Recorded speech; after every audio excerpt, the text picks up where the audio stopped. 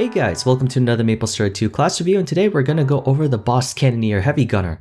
For some weird reason, and I can't remember why, I made my Heavy Gunner all pink and I've been trying to spend the past 30 minutes why I made him all pink, but whatever, you know what, he's super cute, we'll keep him that way.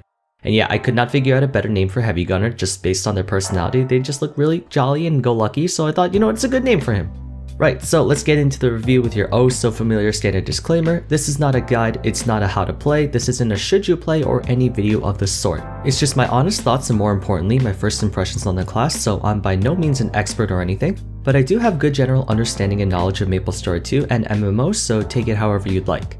Heavy Gunners are a pretty interesting class because when you think of MMORPGs, you think of fantasy or medieval themes or like old school fighting, you know, swords and arrows, not really modern technologies like guns and stuff for the most part anyway.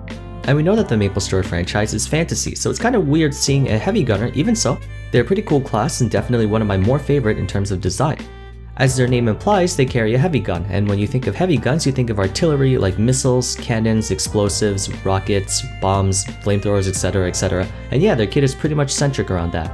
I personally think that heavy gunners are a really good class to play for both hardcore and casual, beginner and expert alike, because they have a unique playstyle and despite not the flashiest abilities I've seen, they're quite fun and good at what they do, which is blow shit up.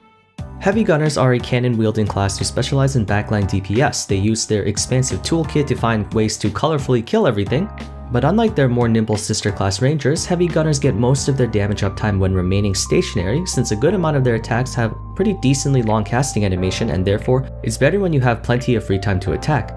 In a gameplay sense, you're not going to be doing much finessing on a heavy gunner as you would the likes of Thief, Assassin, and Wizard, but even so, it's surprisingly engaging of a class. For starters, they are the only class in the game that doesn't regenerate spirit naturally, which makes sense since because heavy gunners are really the only concrete class in MapleStory 2.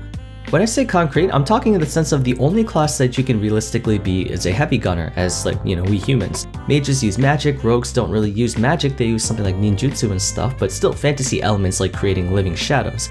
Warriors do actually have magical aspects to them, like knights creating a shield bubble, or imbuing allies with more defense, you get the idea. But Heavy Gunner is down to earth, like you would never really imagine anything impractical on a Heavy Gunner. So they can regenerate spirit, which means you have to manually reload your spirit. Literally, think of Heavy Gunner's resource bar not as spirit, but ammo. To keep your DPS uptime, you have to regularly pause and load your cannon up, which at first I found really annoying, because you had to sit still to do it, but thematically, it does make sense. That cannon does not have infinite ammo, you gotta take the time to juice it back up or to load another mag which then transitions us into Heavy Gunner's list of skills. Like Rangers who have a constant firing attack and rapid shot, Heavy Gunners do come with two constant firing attacks, Gatling Fire and Bullet Spray, with the former consuming spirit but dealing more damage and hitting multiple targets. The only difference is that Heavy Gunners root themselves in place while shooting, while Rangers can freely jump around and maintain their uptime quite easily. This applies to almost all of their abilities, rocket launcher, magnetic bomb, homing missiles, electric blast, etc. in that they're extremely potent attacks in exchange for being really slow. Now of course barring skills like Berserker's Death Spin, all attacks do require you to stand still for even a short period of time, but heavy gunners have noticeably more lag than the likes of Wizard or Assassin. However, that doesn't necessarily mean that they're inferior. Almost all of heavy gunner skills are damaging abilities or passives that increase their damage except for like Medkit, but I'll explain that later. Consequently, this means they're going to be doing a lot of damage. Heavy Gunners are basically neck and neck with other top tier classes when it comes to single target damage, but what makes them really strong is their insane clear speed.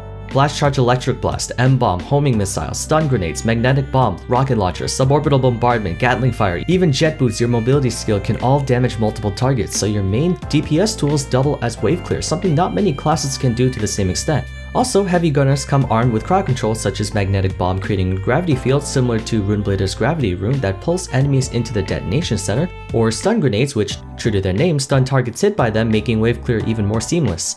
So while your skills are quite laggy to use, they're really really powerful which is why heavy gunners can hyper carry parties through bosses because if they get enough time to stand still and with party protection like a priest or a knight maybe, that's when you can have the most fun with this class.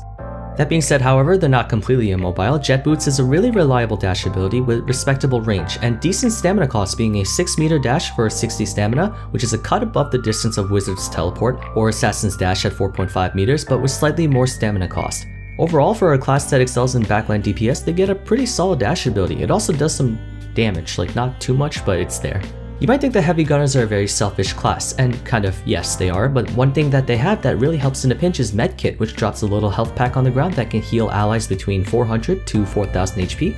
That's almost a full heal if you fully max that out. Of course no one does, but it grants a decent amount of sustainability for heavy gunners.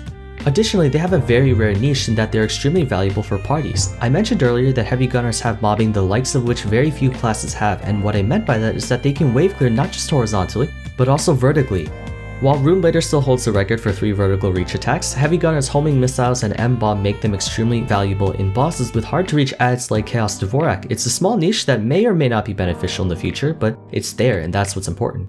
Okay, so that's all the praise I have for the class, and while these review videos are just first impressions of me playing the class for a short amount of time, I've seen the potential heavy gunners have by watching party members play and their functions and raids. But uh, yeah, let's go into the cons. The biggest glaring weakness heavy gunners have is their difficulty in maintaining DPS uptime. Most classes can keep up their damage 100% of the time, but heavy gunners cannot because they have to manually replenish their spirit.